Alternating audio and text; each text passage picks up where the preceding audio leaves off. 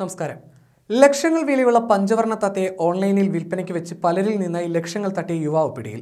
തിരുവനന്തപുരം വർക്കല സ്വദേശി നിവിൻ ഫെർണാണ്ടസ് എന്ന റിയാസിനെ Valanchery police arrest ചെയ്തു. പണം മുൻകൂറായി അയച്ചു തന്നാൽ വീട്ടിൽ വളർത്താൻ പറ്റിയ മക്കാവ് ഇനത്തിൽപ്പെട്ട പഞ്ചവർണ തത്ത വിൽപ്പനയ്ക്കുണ്ടെന്ന് സമൂഹ മാധ്യമങ്ങളിൽ തത്തയുടെ ഫോട്ടോ സഹിതം പരസ്യം ചെയ്ത് പണം തട്ടി മുങ്ങിയെന്ന വളാഞ്ചേരി ഇരുമ്പിളിയം സ്വദേശിയുടെ പരാതിയിലാണ് അറസ്റ്റ്. തമിഴ്നാട്ടിൽ നിന്നാണ് പ്രതി അറസ്റ്റ് ചെയ്തത്. ലക്ഷങ്ങൾ വിലമതിക്കുന്ന പഞ്ചവർണ തത്തകളെ തരാമെന്ന് പറഞ്ഞ് നിരവധി ആളുകളെ പ്രതി കബളിപ്പിച്ചതായി പരാതിയുണ്ട്. ഫേസ്ബുക്ക് വാട്സപ്പ് ഗ്രൂപ്പുകളിലൂടെയും ഓൺലൈനായും പഞ്ചവർണ തത്തകൾ വിൽപ്പനയ്ക്ക് എന്ന് പരസ്യം ചെയ്തായിരുന്നു തട്ടിപ്പ്.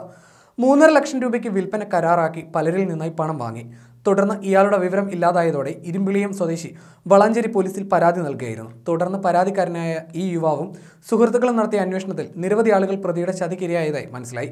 ഇതോടെ കൂടുതൽ ആളുകൾ പരാതിയുമായി പോലീസിനെ സമീപിച്ചു. സമാന സ്വഭാവമുള്ള എല്ലാ പരാതികളും ഒറ്റ കേസായി രജിസ്റ്റർ ചെയ്ത് പോലീസ് നടത്തിയ അന്വേഷണത്തിൽ തമിഴ്നാട്ടിൽ നിന്നാണ് പ്രതിയെ പിടികൂടിയത്. പരാതിക്കാരനായ ഇരുമ്പിളിയം സ്വദേശിയിൽ നിന്ന് രണ്ട് ലക്ഷത്തിലേറെ രൂപ തട്ടിയെടുത്ത ശേഷം ഇയാൾ ഫോൺ സ്വിച്ച് ഓഫ് ചെയ്ത് മുങ്ങുകയായിരുന്നു. നിരവധി പേരെ തട്ടിപ്പിനിരയാക്കി മുങ്ങിയ ചരിത്രമുള്ള പ്രതിയുടെ പേരിൽ നിരവധി സ്റ്റേഷനുകളിൽ കേസുകൾ രജിസ്റ്റർ ചെയ്തിട്ടുണ്ട്. കോടതിയിൽ ഹാജരാക്കിയ പ്രതിയെ റിമാൻഡ് ചെയ്തു.